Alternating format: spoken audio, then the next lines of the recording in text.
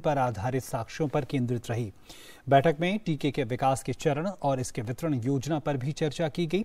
बैठक में कोविड के विभिन्न पहलुओं के दीर्घकालिक प्रबंधन के लिए जिला स्वास्थ्य कार्य योजनाओं की आवश्यकता पर भी चर्चा की गई। बैठक में प्रधानमंत्री के प्रधान सचिव ने दो मीटर की दूरी, मास्क और हाथ धोने के उपयोग को बनाए रखते हुए निरंतर सावधानी और रोकथाम की आवश्यकता पर ज़ोर दिया।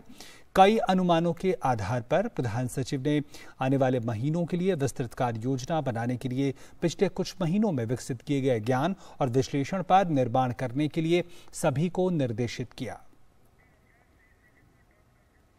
और इस खबर पर ज़्यादा जानकारी के साथ हमारे संवाददाता नितेंद्र सिंह हमारे साथ जुड़ रहे हैं। नितेंद्र कितनी महत्वपूर्ण बैठक ये रही और क्या आगे के लिए कार्य योजना सामने आई है?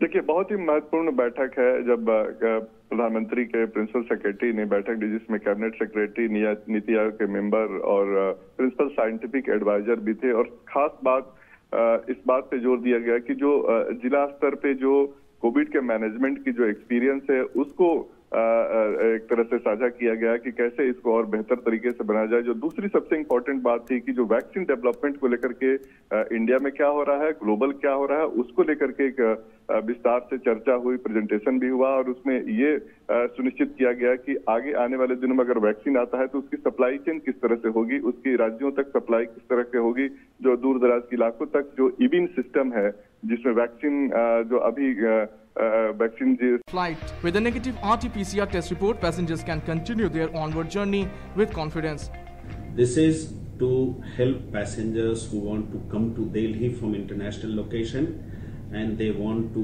go to different other cities. Currently, they are not permitted to take a public transport, including flight. That is why, in the new, as per the new SOP, they need to get tested for RT-PCR, and if they have got a negative result, then they can take a public transport and they can go to their hometown. This is one of its first kind.